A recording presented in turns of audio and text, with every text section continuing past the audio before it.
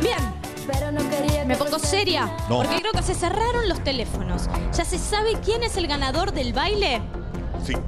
Y para eso está el trendy y el pollo. A ver, chicos. Efectivamente. Sí, efectivamente. eh, llegó el momento de ponerse serio porque estuvo muy peleada la votación a lo largo de, bueno, justamente de toda la votación y terminó siendo muy peleado también la definición. Ay, Ay, ya ay, ay. tenemos equipo ganador. ¿Será equipo verde? ¿Será el equipo rojo?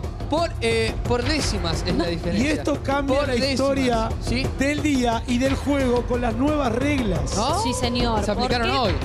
Mañana va a haber un equipo ganador y uno perdedor. Jefe, ¿cómo va el score total hasta el momento? 200, 230 puntos, el equipo rojo 210, el equipo verde. Ay, ay, ay, qué parejo está todo. Y si el equipo rojo gana, se va para arriba. Pero ¿cuántos puntos? ¿Cuántos puntos da el baile, jefe? 10 puntos. Por lo tanto, quedaría 10 el verde de ganar y el rojo quedaría a 30 de ganar ¿Qué también. programa vamos a tener mañana? Atención, el verde puede achicar diferencia o no. El rojo disparar por primera vez en la historia de combate evolución. Quiero saberlo.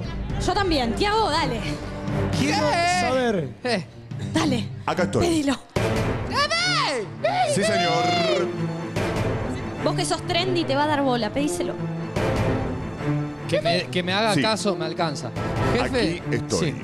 Para decirles Dígame. que quien ganó el baile Ay, por décimas. ganó con él, escuchen bien, 51% Ah. de los votos.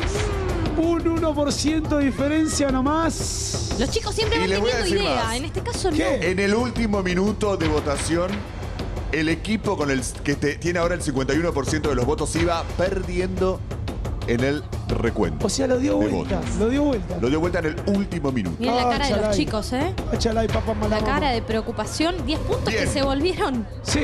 Vamos entonces a decirles que con el 51% de los votos, este combate de baile del día de hoy es para el equipo.